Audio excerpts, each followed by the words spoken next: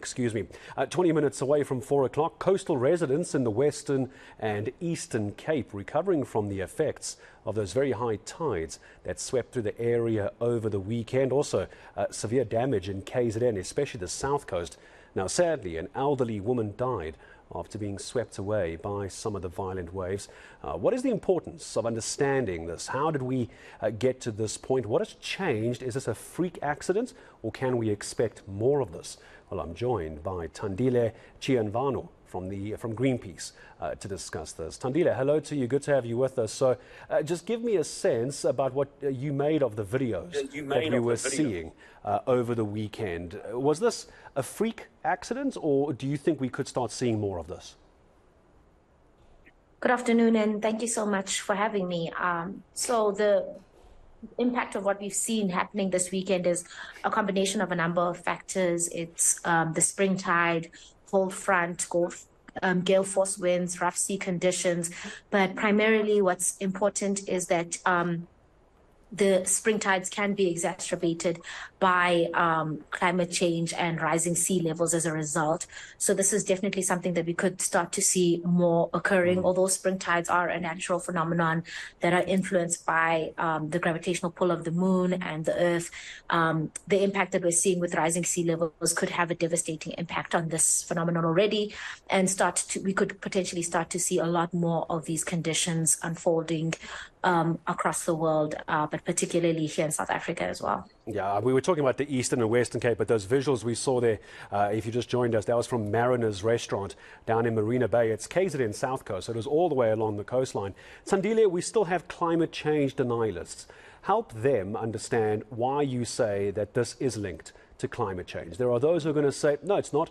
It's the spring tide uh, and also the cold front. How do you convince them otherwise? Well, of course, there, there is that reality that we do still need to wait for the consensus from scientists to affirm that this is directly related to the climate crisis um, and recognizing that it is a natural phenomenon that tends to take place. But unfortunately, we're starting to see a lot more events like this take place, and um, there is scientific consensus that um, climate change can exacerbate the conditions of spring tides. Um, so primarily what we could say to to convince them is just that scientists have have um, already come to the consensus that climate change is real and that it is going to be exacerbating a number of conditions across the world, particularly in Africa. We're likely to see rising sea levels, we're likely to see more drought like conditions in certain parts of the country, and we're seeing a lot more cyclones and flooding in other parts of, of the continent as well. It's something that where we've already begun to see the impacts unfolding, um, and it's something that can no longer afford to be denied. We need action at this point. Yeah, I don't think there's too many people who can deny. You just look at the flooding in Libya, uh, which is going to be one of the most bizarre incidents uh, in, in many, many years, seeing flooding in Libya, thousands of people dying. Here's the problem with uh, what Greenpeace is trying to achieve, and I'd like to get your thoughts. Uh, I always get a sense that many people don't take climate change very seriously. Maybe it's because it's happening too slowly. We're too worried about issues of crime, unemployment, housing, finances, the economy. We don't, uh, don't take climate change very seriously. Whose fault is that? Is it the public or is it government?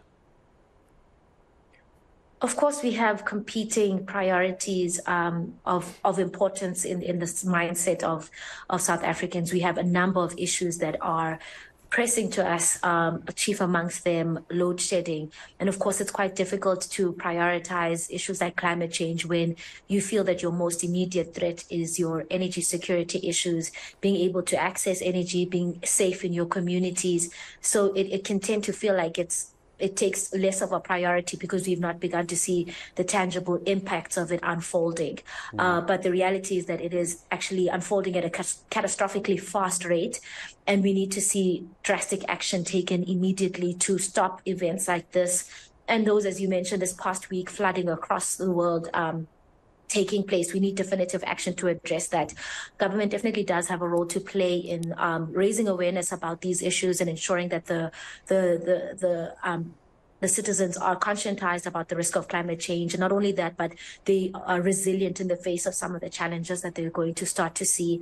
Uh, but there's definitely a role for everyone to play in terms of conscientizing yourself about what the risks of climate change are, how it impacts you and your daily lives, and ensuring that um, and ensuring that we're actually um, calling for our government to take definitive action mm. to prevent such disasters from continuing to unfold. What does that look like? Talk to me about that, Thandile. What does uh, immediate dramatic action look like? Because I feel like you, uh, Greenpeace and climate activists have been drumming uh, this into government for years, but I don't think governments and many people understand what that actually means. Give me something tangible, give me something practical that maybe those of us watching at home can try and do to at least slow this down.